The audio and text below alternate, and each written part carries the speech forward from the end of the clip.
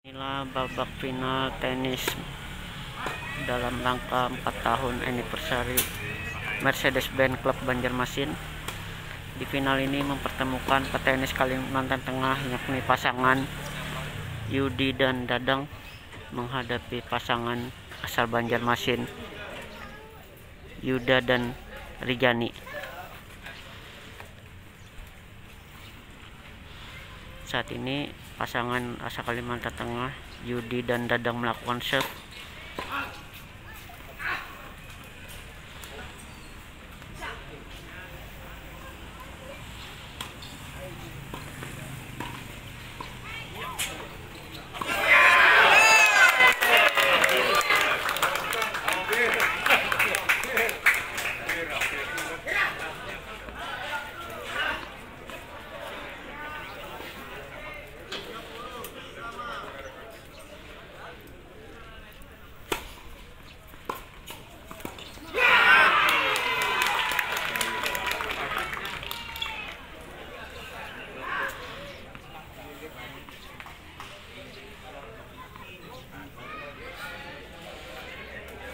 Babak final dilangsungkan di lapangan tenis Dharma Praja Banjarmasin.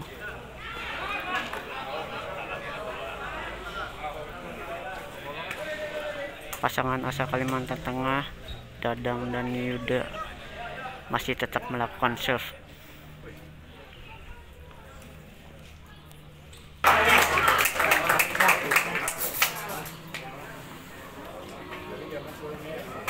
Eja.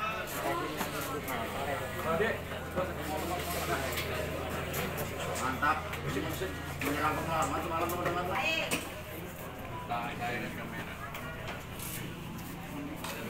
hampir enam bulan. Jadi berpasangan tiap enam bulan lima Ya, Ya, Enam bulan dalam tahun ya. minggu-minggu ini kami latihan tiap hari lah sparring berdua sama anak junior sini sparring Makan enam tahun. sama Rian sama Pak Yuyun, Ragil, si Peris. Kami coba-coba terus. Memang kalah menang kalah menang. target juara kah Pak? Target Gila pak. kalau juara target sih pasti itu sudah. pasti. Tapi kami musuh itu kami jalani satu persatu. Ya, Kami lewati lah. Alhamdulillah hasilnya berhasil. Siap. kami tidak so, istilahnya nih surprise karena faktor faktor U juga. Wah, gua. menjaga bola dan para penonton sekalian.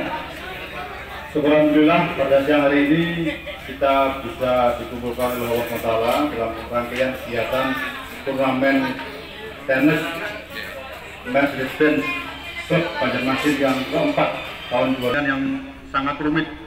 Karena saya ikut juga. Saya ikut juga. Jadi mungkin ini Tuhan Maha Adil. Kalau saya juara satu nanti dikira nggak adil. Inilah penutupan dari turnamen tenis Mercedes-Benz Banjarmasin. bagi peserta Buddha, Pak Ari, Pak Dadang, Pak Dadang saya, Pak Dadang Kalteng, partner kan. Penyerahan hadiah bagi para pemenang yang dilakukan di Spora Banjarmasin.